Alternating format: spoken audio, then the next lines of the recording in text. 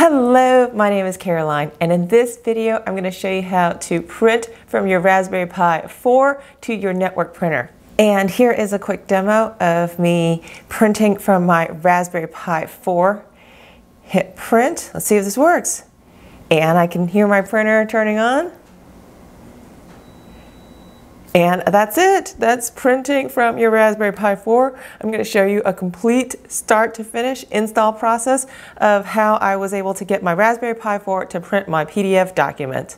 Now let's get started. First of all, why are we doing this? I was super excited when the Raspberry Pi 4 was released as a possible desktop replacement. I actually bought two when they first came out. I bought a 1 gigabyte RAM version and a 4 gigabyte RAM version. Now, have I actually tried to use it as a desktop computer? Honestly, no, because mostly I create Word documents and PowerPoint presentations and cut videos for YouTube but I could see how someone could use it as a web browsing light computing machine, especially if they're mostly writing code and trying it out. Now, I will admit that my Raspberry Pi 4 does get quite warm, and I actually found a solution to cool it down with this USB fan. I created a tutorial in a previous video where I attached a temperature controlled fan. I'll link to it below if you're interested.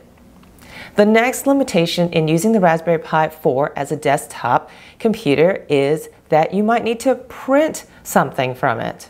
Now, I know we're going green these days and limiting our paper usage, but I find every once in a while I'll have to print. For example, I'll buy a ticket to an event and they'll require that I bring a printed ticket instead of just my smartphone.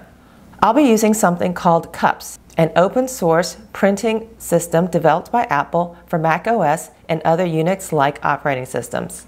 CUPS uses the Internet Printing Protocol, IPP, to support printing to local and network printers. This video assumes that you have your Raspberry Pi 3 or Raspberry Pi 4 running the latest version of the Raspbian operating system.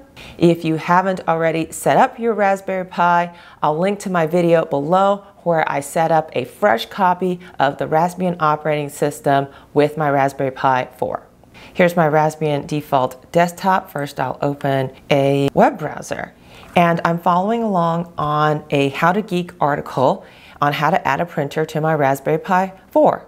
And I'll first start by installing cups. And how do I do that? Copy, right click copy, and then I'll open my terminal window and I will right click paste. So this is installing cups.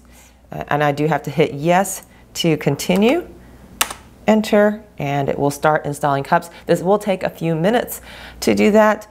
And as we are waiting for cups to install on our Raspberry Pi, I'm going to show you cups.org. And if you want to learn more about cups printing in general, uh, please feel free to go to the cups.org website. And here it is. Uh, so they have a GitHub repository and they have the different versions that you can check out here. One quick disclaimer about this printing project that we're about to do. Now, I highly doubt Cups works with every single printer out there in the world today. If you have an old legacy printer, it might not work with that. Generally speaking, the printers I have tried with Cups have all worked. Now, my printers I've purchased within the last few years, and they are all network printers. Most printers these days are. If not, try plugging it in via USB. And if all else fails, go to cups.org and see if you can find a list of printers that are compatible. And our cups is installing. This is going to take a few minutes, so I'm going to uh, take a break and be right back when it gets done. Cups has finished installing now. Our next step, going back to this article, is that we need to change the admin rights on our computer. And I will go back to my terminal, right click and paste this command and there it's done. It's really quick. Okay, so now what we're going to do is we're going to open up a new browser window and we're going to localhost colon port 631.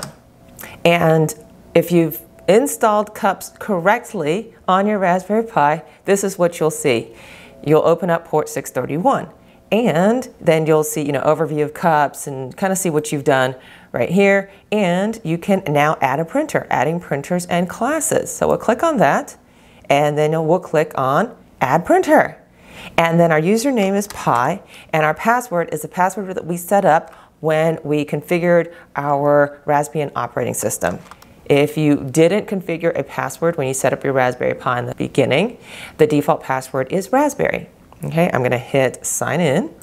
And now it's going out on my network and looking for printers. Now you can simply use the USB port on your Raspberry Pi and then uh, hook it up to a local printer. That's ab absolutely an option. And if you did that, it would show up right here under local printers. You would see that. Now I've got a Canon MF731C that is the kind of printer I have, and it discovered my network printer. It did that automatically. Isn't that cool? And I'm going to select that, check that radio box, and hit continue. And then you can, you know, change the name if you want to, change the description, add a location. Mine's in the office. Uh, share printer, you don't need to click that. I'm going to leave that off, and I'm going to hit continue. And then you can select your driver. So I'm going to choose IPP everywhere. That's the default option and I'm going to hit add printer. And I don't want a banner, I don't want to print out an extra piece of paper before or after it. I'm going to set my default options and it says my default options have been set successfully. Okay, excellent, perfect. So now let's give it a try. And so what I'm going to do is I'm going to, I did uh, create a PDF uh, just, or actually, I saved an old PDF from an Eventbrite ticket, and I just made it really simple for me to get to for myself, carolinedunn.org forward slash sample, sample PDF here. I click on that, and then this really old Eventbrite ticket will come up, and then we'll try to print it. So it says Product Camp Atlanta, and I'm going to hit the print button, and then we will generate a preview so you see what the ticket looks like. I'm going to hit the drop down under Save PDF. I'm going to click See More and it sees my Canon printer in the office. I'm going to select that one. Pages, uh, all, pages per sheet, and then I'm going to scale default, and I'm going to hit print, and let's see what happens. And I think it's printing.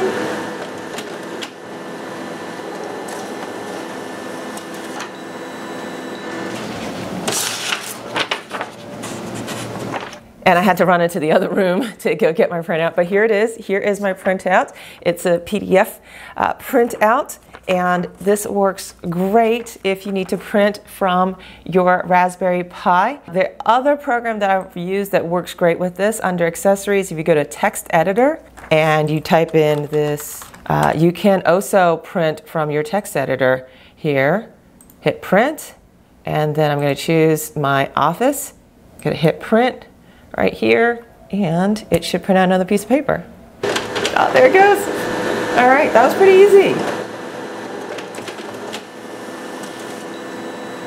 And that's how easy it is to set up printing from a local or network printer from your Raspberry Pi 4. Thank you for watching. Please subscribe, and I'll see you next time. Bye now.